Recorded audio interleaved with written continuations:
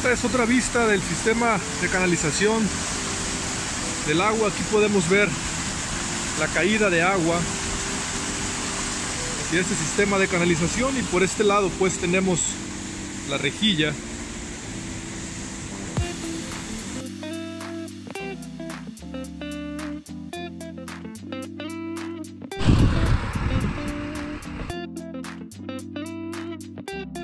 Aquí podemos ver un cuerpo de agua, el cual es canalizado a través de esta estructura que podemos ver aquí, pero lo interesante es ver el funcionamiento de las rejillas metálicas justamente para la retención de sólidos.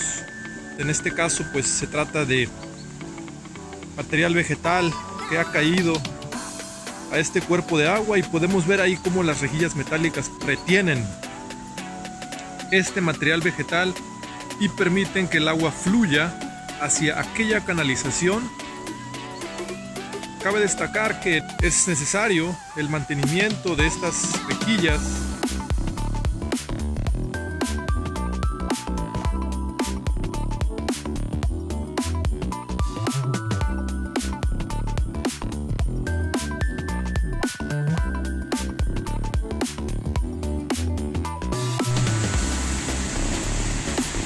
Este puente metálico que se encuentra aquí en esa estructura muy probablemente pues es para permitir el retiro del material vegetal por vía manual. Esto es colocándose en este puente y utilizando una herramienta para el retiro de los sólidos de esta rejilla metálica.